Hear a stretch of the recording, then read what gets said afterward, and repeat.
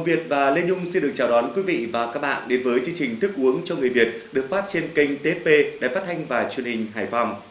Thưa quý vị và các bạn, trong xu thế hiện nay thì thưởng thức hay pha chế một ly đồ uống đang trở thành một trong những lĩnh vực được rất nhiều người quan tâm bởi nó không chỉ hội tụ cả những yếu tố về thẩm mỹ, nghệ thuật trong mỗi ly đồ uống mà nó còn bao gồm cả những thông tin hữu ích cho sức khỏe của quý vị và các bạn.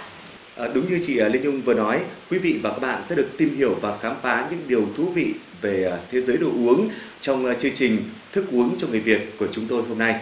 Ngay bây giờ hãy cùng chúng tôi dạo quanh thị trường đồ uống xem có gì đặc biệt không nhé.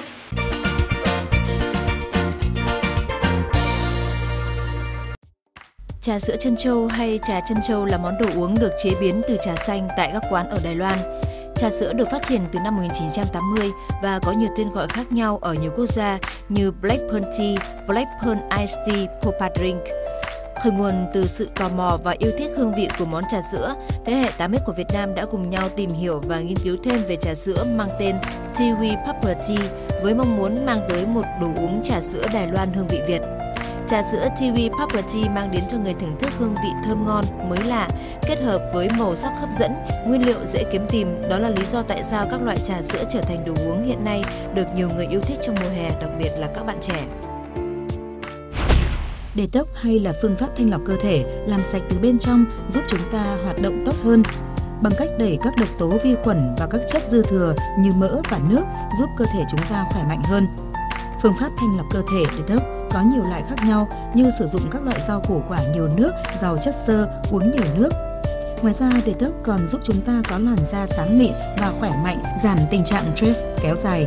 Phương pháp detox rất có lợi cho cơ thể, nhưng nó đòi hỏi chúng ta phải tuân thủ nghiêm ngặt chế độ ăn uống thường ngày để phù hợp với phương pháp này. Việc thanh lọc cơ thể bằng detox được coi là phương pháp giảm cân hiệu quả và an toàn. Absinthe là loại đồ uống đặc trưng và phổ biến nhất ở Pháp.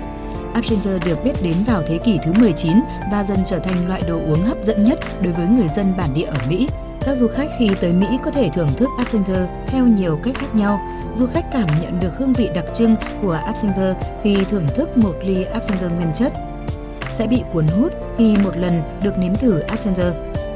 Không chỉ có nam giới mới có thể thưởng thức được absinthe mà nữ giới cũng có thể nếm thử hương vị thức uống đặc trưng này khi chúng được pha chế cùng với đường và nước. Absinger sẽ dễ uống hơn và có vị ngọt đậm đà hơn.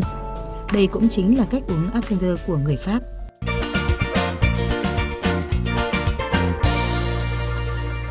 Thưa quý vị và các bạn, trong cuộc sống hiện nay, do áp lực của công việc nên nhiều người thường dễ bị căng thẳng hay chúng ta thường gọi là stress. Đa số những người bị stress thì ờ, thường tìm đến một số phương pháp tập luyện thể dục thể thao, thư giãn để giảm stress nhưng ờ, thường ít quan tâm tới chế độ dinh dưỡng. Lựa chọn một chế độ dinh dưỡng phù hợp đi kèm với những bài tập thể dục nhẹ nhàng cũng đang là một trong những vấn đề được rất nhiều người quan tâm. Trong chương trình hôm nay thì chúng tôi xin được chia sẻ tới quý vị và các bạn về những tư vấn và hướng dẫn pha chế đồ uống của các chuyên gia dinh dưỡng nước ngoài à, để chúng ta có được à, những đồ uống giảm stress à, giúp cho cơ thể thực sự là khỏe mạnh. Và đó là những tư vấn gì thì xin mời quý vị và các bạn chúng ta cùng theo dõi ngay sau đây. Chúng ta sẽ học cách thực hiện các loại thức uống dựa vào phương thuốc thảo dược Campo để thư giãn. Tham gia chương trình này là chị Kaori Kobayashi, chuyên gia về ẩm thực chữa bệnh và Campo. Thưa chị, khi chúng ta thấy bực tức, căng thẳng, buồn rầu và trầm cảm, chúng ta có thể sử dụng phương thuốc Campo như thế nào?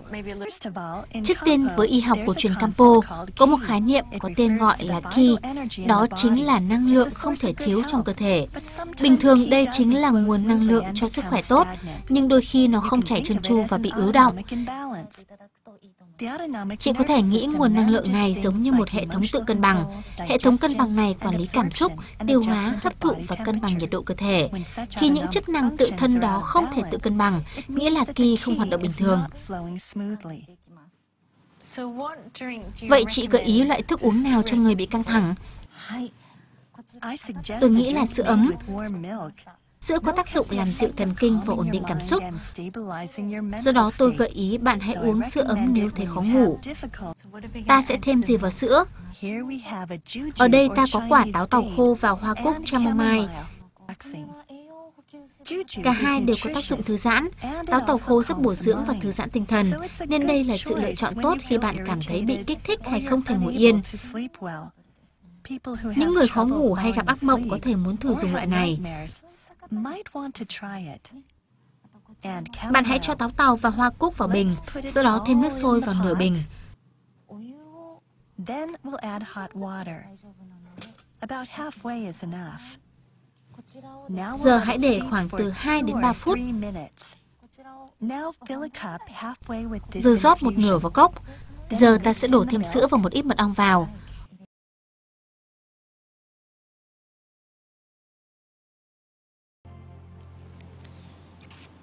Ồ, rất là thú vị. Sự kết hợp giữa hoa cúc, sữa và mật ong làm cho loại đồ uống này rất thơm ngon. Thức uống tiếp theo ta sẽ sử dụng trà hoa nhài. Lá của loại trà này có mùi rất thơm, giúp cải thiện dòng chảy của năng lượng ki và làm cho bạn thư giãn. Giờ ta sẽ thêm vào một ít búp hoa hồng. Búp hoa hồng cải thiện dòng chảy của cả năng lượng khi và mạch máu. Do đó loại trà này rất hoàn hảo cho phụ nữ bị tuần hoàn kém. Uống loại này cũng giúp ngăn ngừa lão hóa và cân bằng hormone trong cơ thể. Trà này có hương vị hài hòa, một sự kết hợp rất thú vị và rất ngon.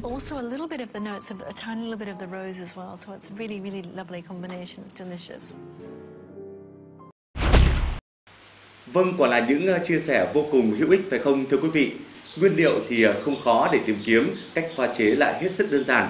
Hy vọng rằng ờ, qua chương trình hôm nay quý vị và các bạn sẽ có thêm những kiến thức về ờ, giảm áp lực căng thẳng bằng các loại đồ uống. Quý vị và các bạn cũng đừng quên chia sẻ với bạn bè, người thân của mình về những thông tin bổ ích này nhé. Vì đây là những hướng dẫn đơn giản, dễ làm và chúng ta có thể thực hành ngay tại nhà. Ờ, chị Lê Nhung này, ngoài những phương pháp làm giảm áp lực căng thẳng sau công việc bằng các loại đồ uống như các chuyên gia dinh dưỡng Nhật Bản vừa giới thiệu với chúng ta, thì ờ, tôi nghĩ rằng cuối tuần chúng ta cũng nên đi ra ngoài dạo phố hoặc đến một quán cà phê nào đó cùng với bạn bè để trò chuyện thư giãn, phải không? Ừ. À, đúng vậy thưa anh Hoàng Việt, chúng ta có rất nhiều cách để à, giảm stress sau những công việc căng thẳng vất vả và tôi nghĩ là nếu như cuối tuần quý vị và các bạn cùng nhau đến một quán cà phê nào đó thưởng thức một bản nhạc du dương trầm bổng trong một không gian lãng mạn thì quả là một sự lựa chọn tuyệt vời.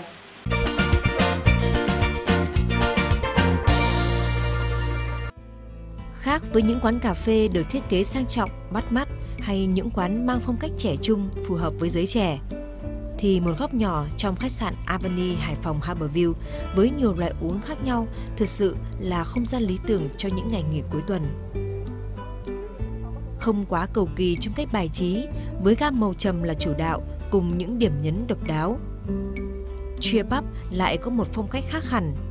Không gian này mang đến cho ta cảm giác bình yên thư thái. Mọi thứ xung quanh dường như trôi chậm lại, để những cuộc chuyện trò cũng vì thế mà lắng động hơn. Quý vị và các bạn có thể tới đây bất kỳ thời điểm nào trong ngày để tìm cho mình một không gian yên tĩnh, tách biệt sự ồn ào náo nhiệt của phú xá đô thị.